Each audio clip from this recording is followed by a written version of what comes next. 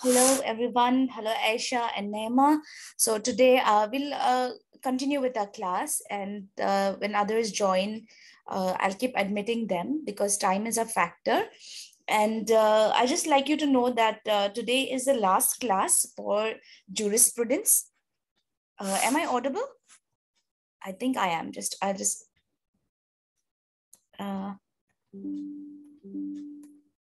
Okay, so uh, today is the last class, as I was saying earlier, and uh, um, we'll try our best to complete our syllabus today.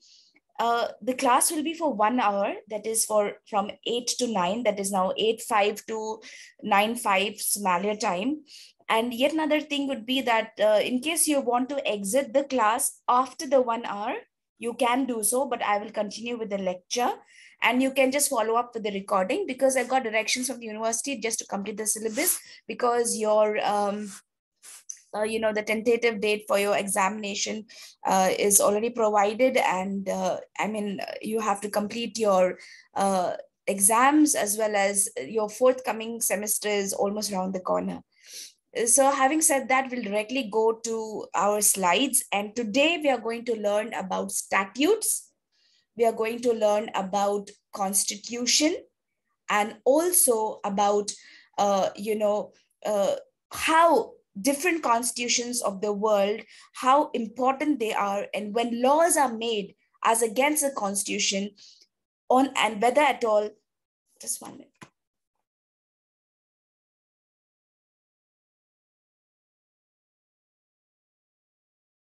Yeah, and when laws are made uh, as against the constitution, whether at all the laws would be upheld or it would be abrogated. So this is what we're going to learn in today's class.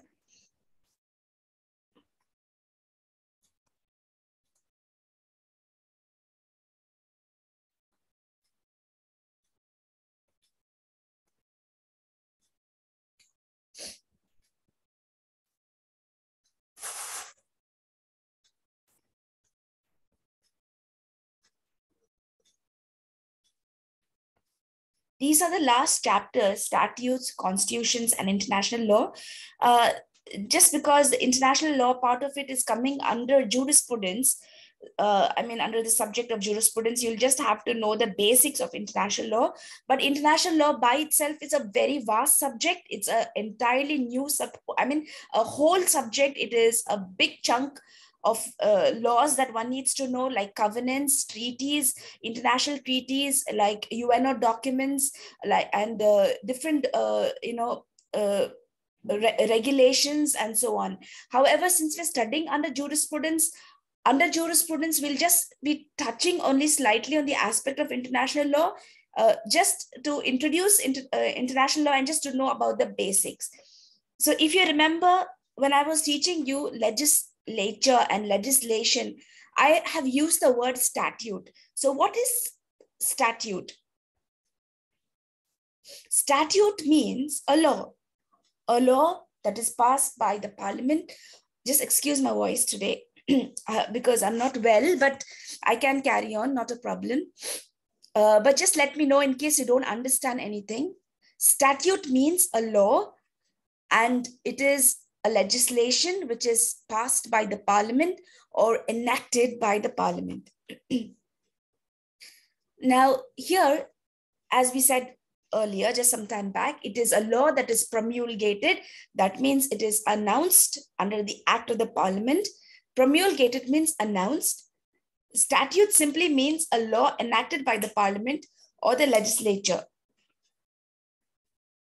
With the passage of time, statutes may be amended by lawmaking body or that is the legislature or even repealed or abrogated. What is repealed or abrogated? Repealed or abrogated means where the law would be struck down as a bad law. Just uh, at the inception of this class in the beginning, when just when Aisha and Naima were there, I was talking about constitution and I said that if any law is made against the constitution of the land, it would be struck down as bad law. So likewise, if a law is bad, it would be repealed or abrogated. Now, sorry.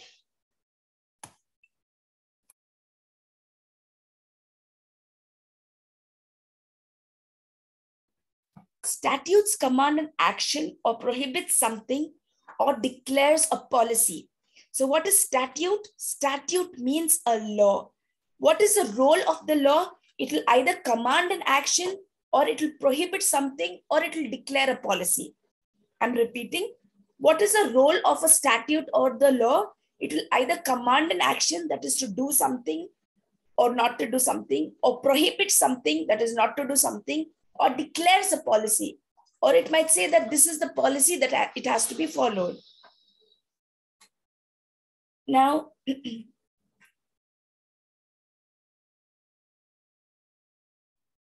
statutes can be broadly classified based on duration method effect extent of application and object. Just excuse my voice today. Then what is duration based classification? Duration means the period of time or time. Based on the duration, a law can be either a permanent law or a temporary law. So based on duration, you can call it as a permanent statute or a temporary statute.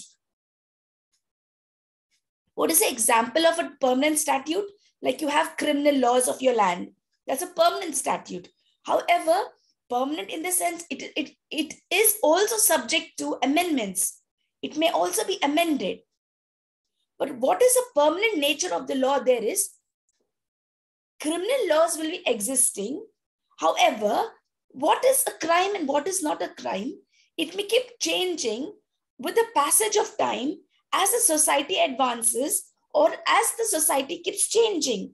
So the, I mean, the, the the context of the law may change uh, and uh, you know certain uh, elements in the law may change but the entire law cannot change. What is criminal what is a crime or what is a criminal act and not a criminal act may change but criminal laws as a whole chunk will always exist. This is an ex example of permanent statute. For example let me give you a simple example.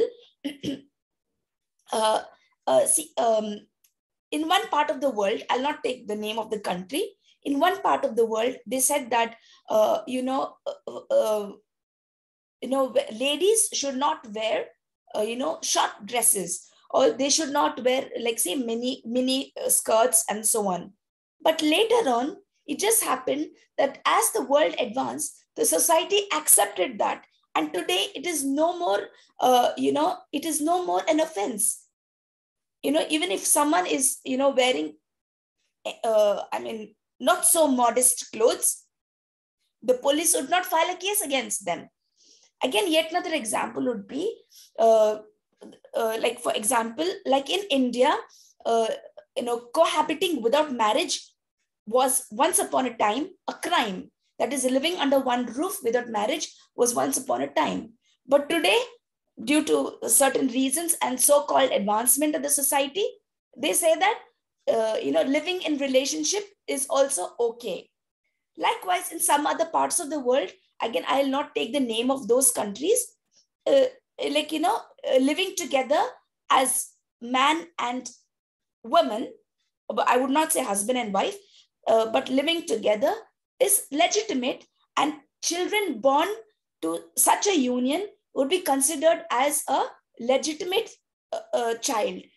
Because uh, why they're saying that is today? Because no, no, no doubt that the parents do not have um, you know uh, they are not bound by the law in that particular relationship.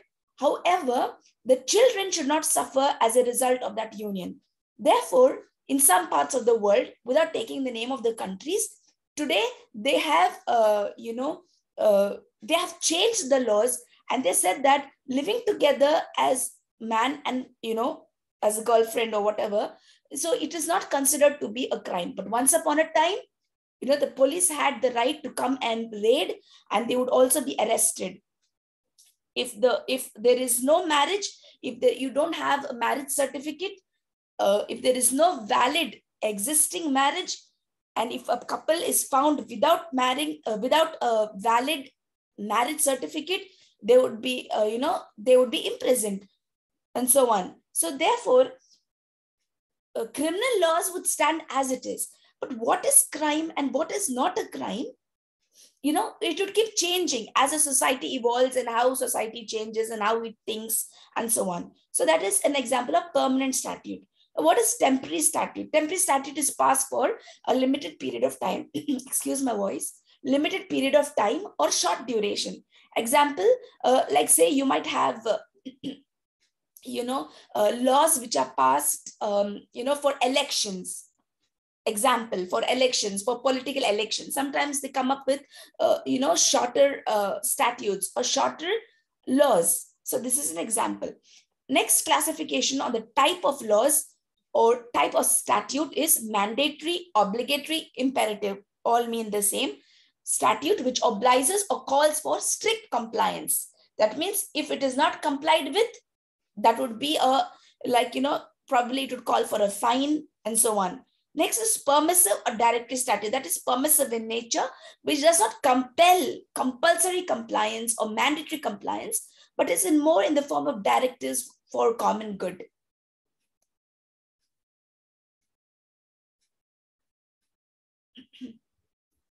Next is classification with reference to object, object or the purpose. Now, under that we have codified statute and consolidated statute. What is codified statutes? Codified statutes are normally statutes or laws which is divided into sections and articles like section 1, section 2, section 3 or article 1, article 2, art, article 3. It is drafted mostly into authoritative sections and articles systematically. Okay, that means uh, one below the other with the aim to bring about uniformity on a particular subject. That's a codified statute. Again, example for this would be again criminal laws would be a codified statute what is a consolidated statute? Like refers to statutes which present the laws in a consolidated form, like by compiling even ancient laws and merging it with the present. Example, the law of torts.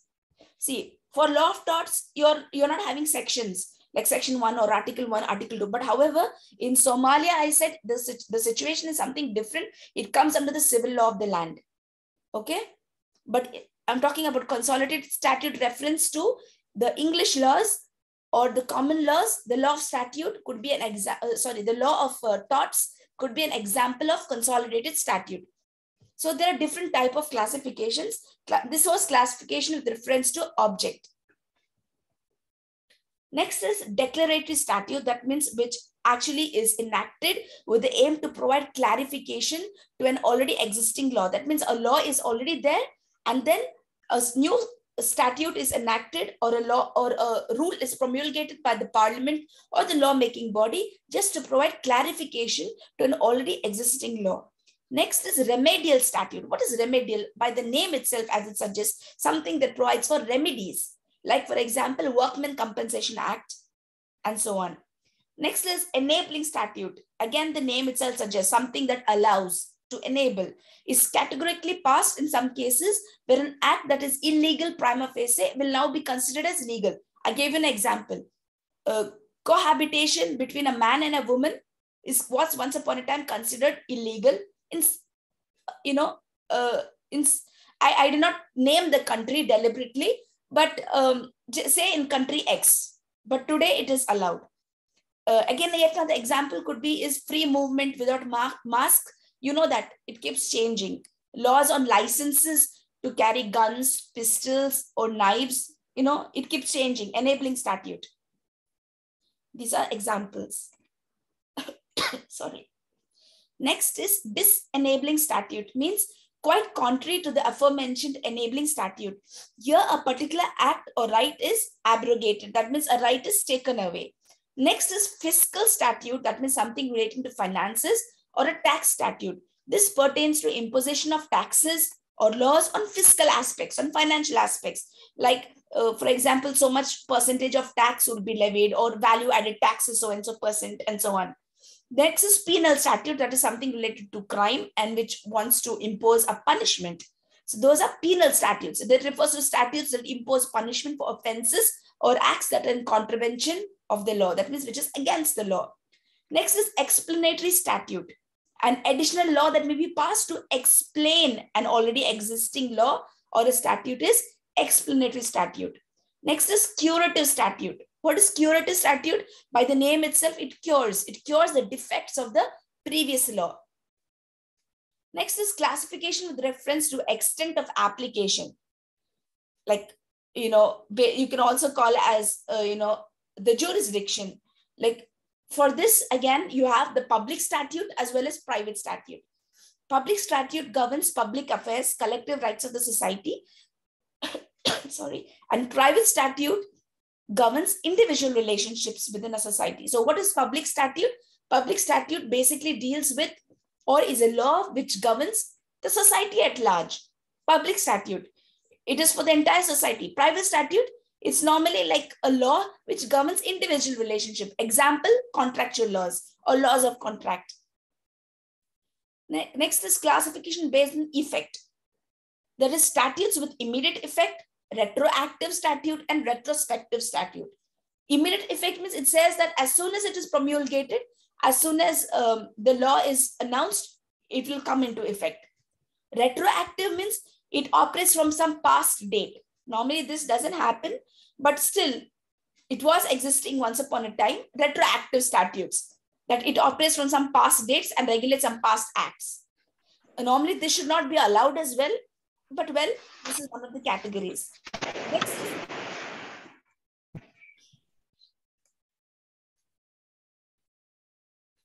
Next is retrospective statute. As the name itself suggests, the retrospective statute operates from the future date, but takes away the vested rights and creates a new law with respect to past actions. That is something which is future oriented. So therefore, based on the effect, when it will come into effect, we have three types, statutes with immediate effect, retroactive statute, and retrospective statutes. Next is prospective, that is again future oriented, totally future oriented that will come in the which, which is probably going to come up in the future that is prospective statutes. Or they would say that this law will be made applicable from august 2022 example prospective statutes. Now having known what is statute that means a law always you know people from the legal field be it lawyers or judges they always you know uh, have a problem with respect to knowing the intention of the legislature and finding out the real meaning of a particular law. For example, when a matter comes up before the court, in order to provide the best justice possible, you know, um, lawyers will have to interpret the laws and convince the judges, saying that the aim of the legislature or the will of the legislature was for the good of dash, whatever purpose it may be. So normally in the legal field, interpretation of statutes play a very important role and you know lawyers or even judges they get caught up when it comes to the question of interpretation of statutes or finding out the real meaning of statutes or arguing upon the the meaning of a particular law so statutes are laws passed expressing the will or intention of the legislature however in the utility or the use of laws laws must be interpreted having ascertained the will of the legislature that is having understood the will or the intention of the legislature or uh, by upholding the will intent of the legislature to meet the purpose of the legislation. now, the term interpretation has come from the Latin term interpretari, which means to expound, explain, understand, or translate.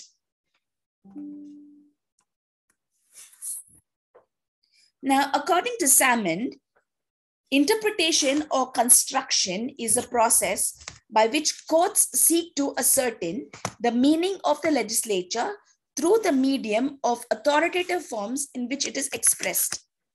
Now, the purpose of interpretation of statutes. Statutes need to be interpreted why? So as to clearly understand while applying the laws, what is the purpose of the legislation? What is the purpose of the law? For what purpose or what was the intention behind making of that particular law. Now, Blackstone, he was a philosopher, and he opined that the fairest and the rational method of interpreting a statute is by exploring you know, the intention of the legislature through the most natural and probable signs, which are either the words, the context, the subject matter, the effect, consequence or the spirit and the reason of the law. He says that you can actually find out or you can actually interpret the laws based on directly the words, the context, the subject matter of the law, the effect and the consequence, or the spirit of the law, or the reason of the law. Again, why do we need interpretation of statute? Is that the intention must correlate with the purpose or the aim of the statute, and also to understand the intricacies or the minute details that are involved in the statute.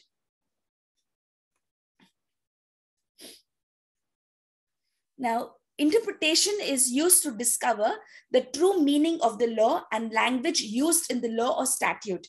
Interpretation of statute is a process that is used by the courts to understand the law by ascertaining the true intention of the legislate, uh, intention of the legislature or the legislative act. Now, it is a duty of the court to implement the laws judicious, judiciously and without any errors thereby determining the true meaning of every law is a significant factor. Now, there are several rules of interpretation. Okay. Now, this again, uh, I would like you to know that interpretation of statutes again is a complete different subject, altogether a separate subject. But you know, just because we are studying under jurisprudence, we are just going to just slightly touch upon these aspects, like what is a statute, uh, what is a, uh, you know, how the statutes are interpreted, that is interpretation of statutes, and also about constitutions of the world and international. We're just slightly touching upon these aspects because we are studying it under the laws of under jurisprudence because jurisprudence is a study of legal theories. So we're just touching upon these aspects. But you know, the interpretation of statute is an entirely different subject and it is a whole subject in itself. Are you understanding me? So if if by chance like you have the subject, it's a very interesting subject. Suppose you have it in the next semester. I'm not quite sure, but this is a very important subject where you learn how to you know get to know the meaning of the laws and uh, what are the different ways to really come uh, you know understand the meaning of various laws that are enacted not only under your jurisdiction, but also across the globe. So just I slightly touched upon every aspect here. Like what are the rules? There are several rules for interpretation of statutes. One is the literal rule. Literal rule means as the name suggests, just as it is on the face of it, literally, literally. This is also called as grammatical rule of interpretation. This is to provide an ordinary or just a natural meaning to the words used in the law. Next is what is the golden rule of interpretation? The next rule is this rule of interpretation modifies the, see, I'll, I'll repeat it again. One was, the first one was literal or grammatical. See here, literal or grammatical rule of interpretation. Next is the golden rule of interpretation. This is yet another rule for interpreting statutes or uh, getting to know the meaning of the laws. This rule of interpretation modifies the literal rule of interpretation in case of absurdity when it is not clear in its statute. While using the golden rule of interpretation, it should be kept in mind that the court must modify the words to an extent of clearing the absurdity or requirements only. Now, the court cannot change the full statute.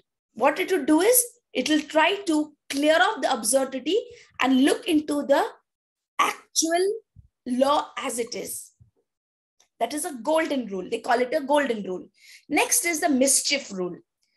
Now, the mischief rule of interpretation, as the name suggests, it tries to overlook the mischief or overlook the, uh, you know, something that is wrong in a particular statute. Let us go through the slide as it is. Mischief rule of interpretation is also known as the rule of beneficial construction or also called as Heydon's rule or purposive construction. This rule of mischief was developed in Heydon's case in 1584, and that is why this rule is called as a Heydon's rule. There are mainly four points that have to be considered while using the mischief rule of interpretation, which are as follows. Sorry.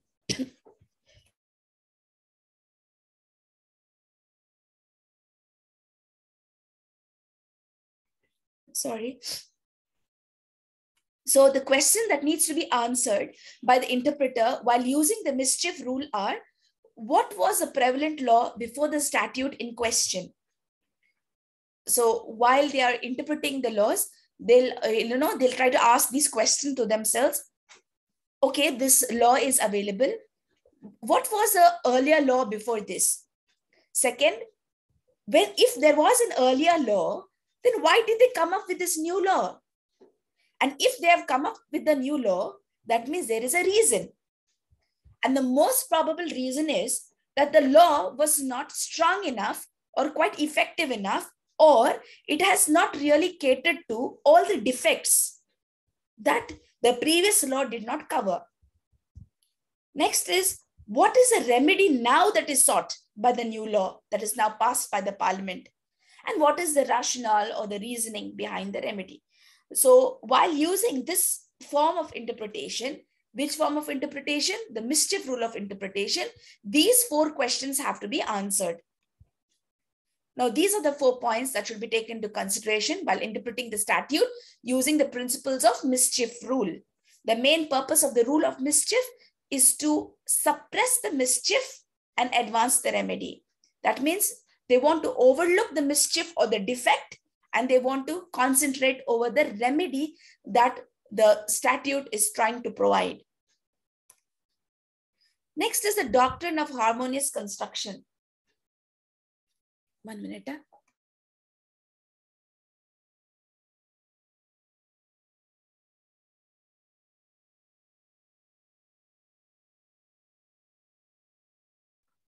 Now, according to the doctrine of harmonious construction, the conflict between two or more statutes or two or more than two provisions of the same act must be interpreted in such a manner that should give effect to both the statutes and provisions of the same act. Now, in simple words, it is the duty of the court to interpret two or more inconsistent provisions of the same statute in a way so that both the provisions can persist or survive. Sometimes what happens that even in one particular law or a statute, there will be like, you know, two sections or two articles which may not be, you know, uh, uh, which may not match each other. They may be, you know, distinct from each other. So what the courts will do is it will try to cut out every inconsistency and try to, you know, uh, uh, look at any particular provision in a harmonious way, in, the, in, in a way that it will try to cut off any conflict or inconsistencies in such a way that both the provisions which seem to be inconsistent with each other that they may survive or persist or both may remain in force. Next we'll move on to the constitutional laws or the constitution. Now something that you need to know under constitution is now every country has its own constitution. And constitution in itself is a very vast subject as it is if you take the constitution, for example, of India, uh, just before, uh, you know, suppose we get disconnected, please join back as usual. Now, like for example, Constitution of India is, is the largest constitution. Like what does the constitution law provide? It provides for the basic tenets, the basic, uh, you know, the uh, rights that it gives to its people, uh, to the people of India, the rights, the duties, the freedoms, and uh, you know how states have to be governed how laws to be made uh, what are the different uh, parts of the government. So the constitutional law basically is a fundamental law of any land. Most of the uh, nations in the world have got their own constitutions have got their own constitutional laws. Some are written some are unwritten. However most of them are written so therefore you could say that constitution of any country or any jurisdiction is the basic or fundamental law of the land. Let's go through our slides. Merriam-Webster's dictionary defines constitution as the basic principles and laws of a nation, state. Uh, in international law, a country would be referred to as state, okay? Or social group that determine the powers and duties of the government and guarantee certain rights to the people in it.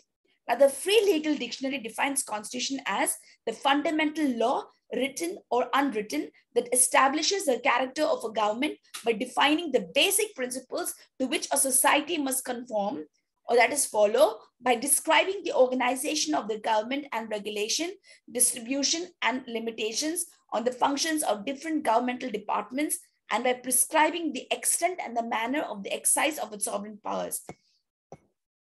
Now, therefore, you could call it as a legislative charter by which a government or a group derives its authority. It is a fundamental law of any land, like the constitution of any country is a fundamental of the land. And what I choose to call it, I, I choose to refer it to as Kelsen's Kelsen's theory. In Kelsen, uh, Kelsen's theory, Kelsen came about with a Grund norm. He says he calls it as a basic norm from which all other laws emanate. So thereby you could call constitution of any country as a fundamental law of the land and it operates as a Grund norm, just as Kelsen said. And it is from this norm from which all other laws emanate. It is a supreme law of the land, the foundational law of the land. Now, why are we saying that it is a basic law or it, or it operates as a Grund norm is if any other law is made which is against the constitution of any country, it would be struck down as bad. Why? Because the constitution of any country is a fundamental law of the land. Now, the constitutional laws of the country may be written or unwritten uh, and characteristically function as an evolving body of legal custom and opinions. Now, any law that may be enacted which contravenes the basic edicts, as I said earlier, of the constitution of that country would be considered as a bad law and thereby would be struck down as bad or abrogated or you know repealed in entirety. Technically speaking, would be considered as unconstitutional.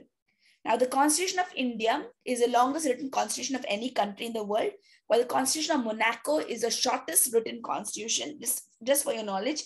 The Constitution of San Marino might be the world's oldest active written constitution since some of its core documents have been in operation since 1600. While the Constitution of the United States is the oldest active codified constitution, that is, it's divided into like, you know, articles and in, um, you know, in um, uh, what they say, in a codified manner. So it is the oldest active codified constitution. Sorry.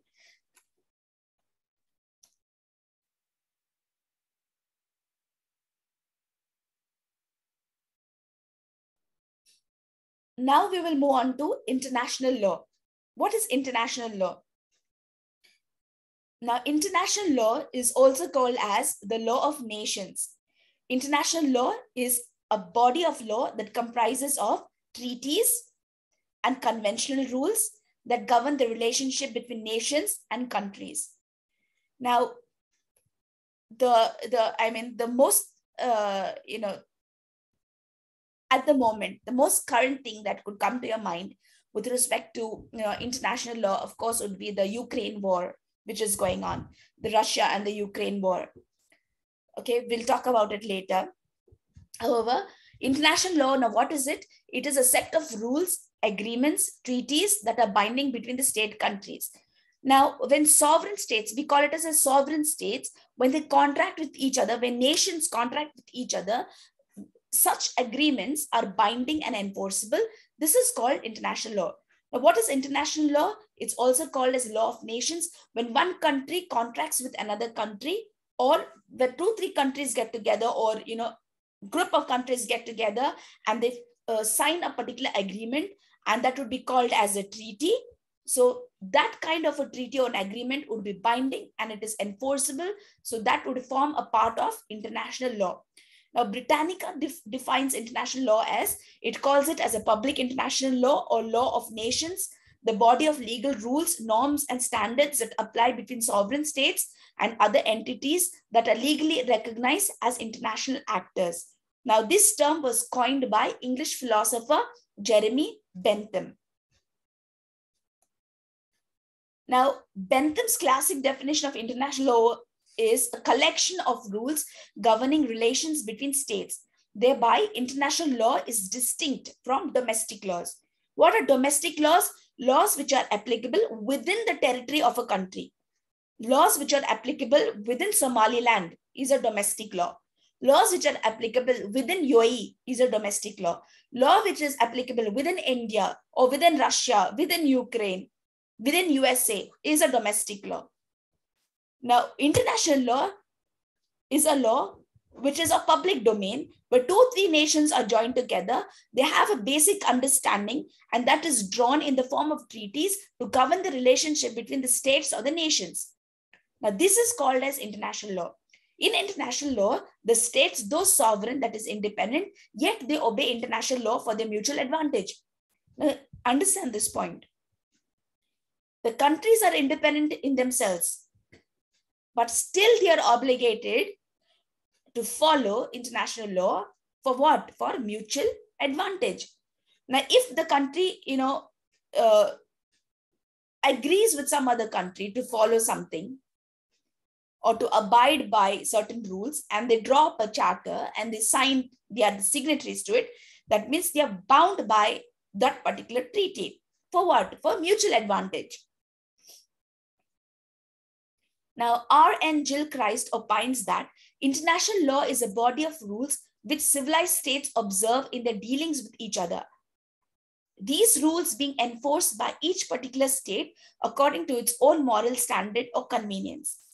With the improvement, growth, and development of international relations, international law evolved and developed over the years.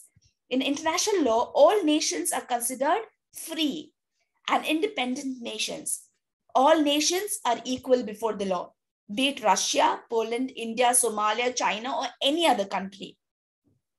All have equal rights before the law.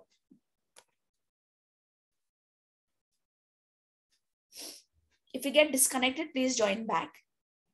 Now, violation of international law or trespassing international law. Now, what is the effect of that? who is going to punish for violation of international law? Who is going to punish for infringement of international law? Now it depends what is the infringement about, whether it is human rights infringement or a treaty infringement or covenant infringement or just understanding between the state parties infringement, it depends. Now, if a country state violates international law, the law itself does not cease to exist, but the country state which violates is punished and is subject to trial by the ICJ. ICJ, that is International Court of Justice, or the country may be expelled from the UNO and its bodies. Example, in the ongoing Russia-Ukraine war, Russia is accused of severe war crimes and thereby was expelled out of the Human Rights Council, where only I think six countries of the world, you know, supported Russia and every other country, though they were friends with Russia, were not able to support Russia because Russia is at presently uh, at present accused of severe war crimes, and it has not followed the the rules of the game in the sense, you know, uh, the, I mean, it's a slang way. I'm telling you, rules of the game in the sense it does not follow the edicts of international law. It does not follow the, you know, the rules of international law. The basic rule is that civilians or people should not be attacked in a war. Civilians or people are not to be attacked during a war. So that was one of the basic uh, you know